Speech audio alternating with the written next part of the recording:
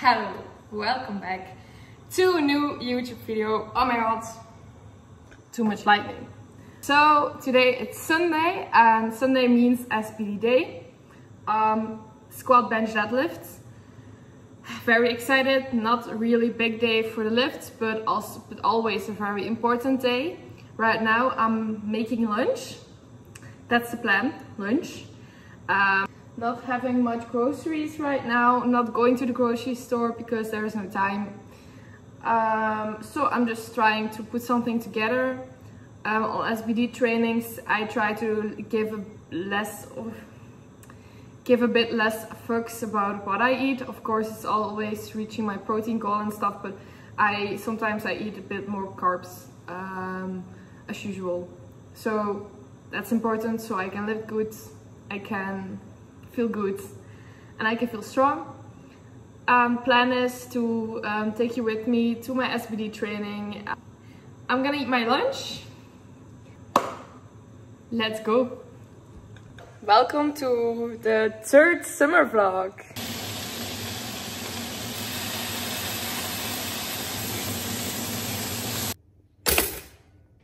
I'm sorry, but Come on. Protein bread with bacon, some sauce and some greens. Shut up, this is good. This is freaking good. Did you gotta be a little little mental, I think, to do what I did. I, I, I don't want to like sound crazy, but you have to be a little fucked up. The fucking mindset of like getting up every day and pushing yourself. And you're eating 12 to 16 ounces of meat, you know, 100 to 150 grams of carbs every meal, and you're doing that seven times, and you do it day in, day out. You got to have a very simple mindset. You know, you can't be social. You can't be out doing a lot of other activities. So you put on the blinders and you have tunnel vision on what that ultimate goal is. I was always on track with everything. I mean, I, everything was structured. I lived in a fucking box in order to be the best, meaning I had no outside. People would call me with their problems, I'd hang up on them. Like the phones were, were off. Don't bother me with negative shit. And I just went at it. Like that's all I cared about. Like, that was what my life was like. There was it was like go full fucking throttle every day. That discipline was there. I always tell everyone it wasn't about the body, it was about the mind at first. But I trained my ass off. For me, I just love to train. Like that's that's what separated me from like most guys. There was times where I almost passed out training. I'm lunging with you know 225 on my back in the parking lot,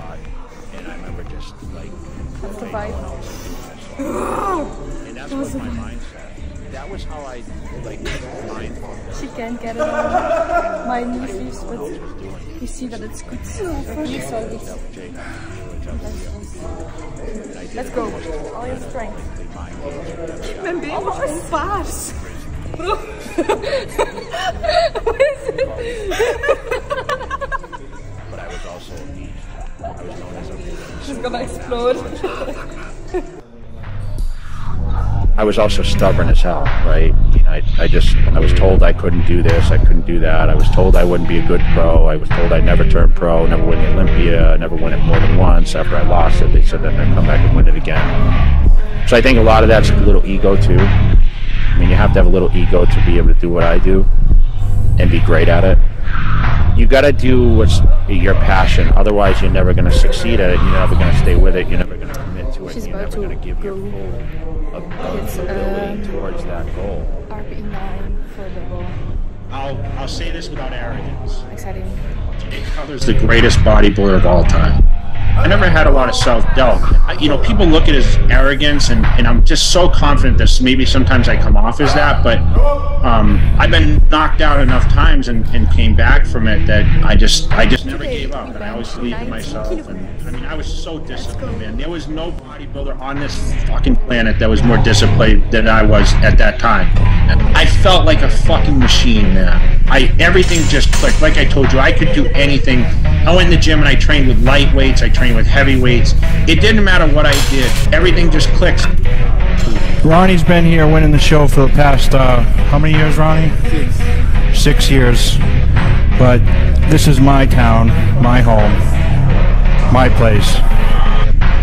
Uh, it takes a lot of time, but I'm dedicated and I was just so young and just um, I was so you know naive. I really didn't know much about anything. I really didn't know how to pose. I really didn't know anything. But I had the physique. I had the structure. And once I learned how to eat um, and learned how to you know train properly, and you know I wanted to be I wanted to be the best. Dad just, you know, my dad was a pusher, man. I hated my dad a lot of times early in my life because he would just make me work and he taught me to be a machine, you know? And it really gave me the, the work ethic to be who I am as a bodybuilder and, you know, to be relentless and, and had to learn the value of working hard to achieve certain things. And, and I knew um, going into bodybuilding, it wasn't going to be easy. He's like, I'm telling you, you can beat Ronnie Coleman. Jay, I'm telling you, you're gonna beat this guy. I'm telling you, Jay, you're gonna beat this guy. So in the lineup, when I was standing next to Ronnie, people are like, holy shit, Jay's beating Ronnie Coleman from the front. It's the first time in my career that I actually knew, shit, I'm gonna win the Mr. Olympia contest. I knew myself I would win it. Um, and I knew in 2006, I knew 100% I was going to win the Mr. Olympia in 2006. I had no doubt in my mind. But every year I watched Ronnie stand next to me, and before he fell on the ground and he cried, he was scared.